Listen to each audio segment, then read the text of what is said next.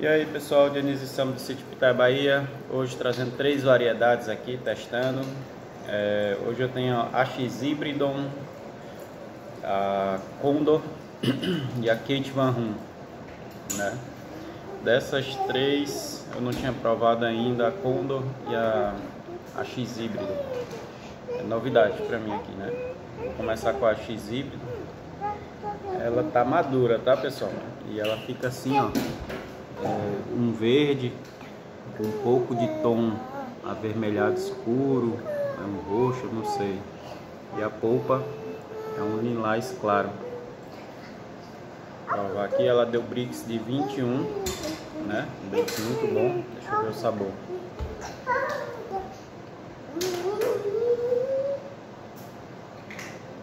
Muito bom de sabor.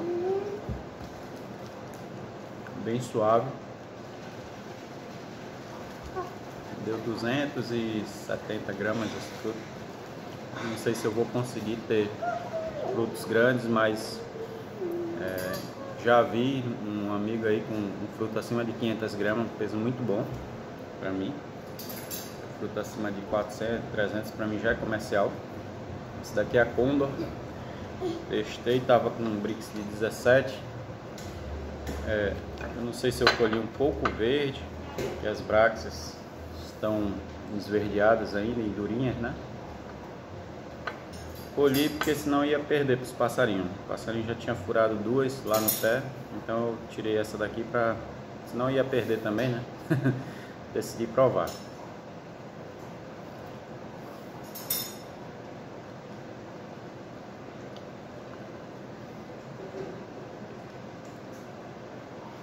Tá bom, sabor.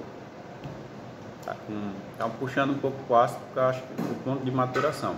Eu sempre falo, o ponto influencia muito. Um, dois dias dá muita diferença para a pitaia. Mas tá boa o sabor, né? Eu acredito que fique melhor, mas puxando mais pro doce, que é o que eu gosto mais. Quem gosta um, um pouco mais é, ácido, é, também iria gostar nesse ponto aqui, né? Mas ela acho que acredito que fica mais doce um pouquinho, mas tá boa.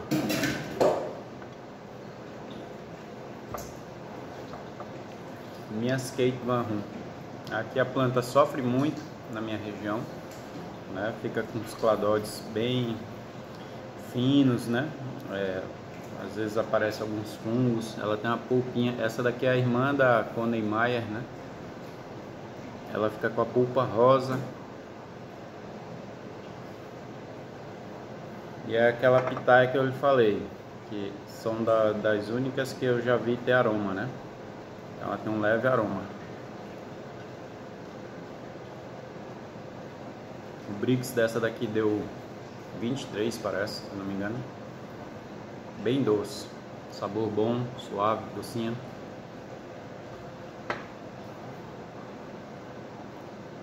Esse é meu vídeo de hoje. Variedades muito boas variedade para se ter em casa como colecionador, uma variedade para se estudar a viabilidade comercial, dependendo da região. Já vi regiões que está produzindo bem. Aqui ela deu até uma florada boa, né? Mas deu alguns frutos grandes. Esse daqui, ó, deu mais de 500 gramas. Ainda estou estudando a viabilidade. E a, a X híbrido está muito boa mesmo. Gostei muito do sabor. Só falta testar comercialmente. Só tenho dois pés dela. Como eu gostei do resultado, eu vou replicar né, mais para ver como é que vai se sair. Tá bom? Quem não é inscrito, que se inscreva para estar tá recebendo as notificações de vídeo.